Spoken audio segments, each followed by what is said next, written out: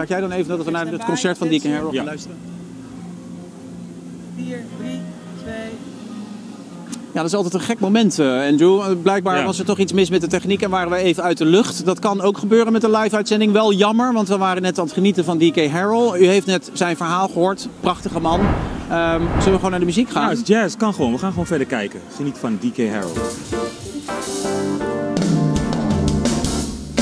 Sitting at my desk, got so much on my mind. Nervous and excited about no see tonight.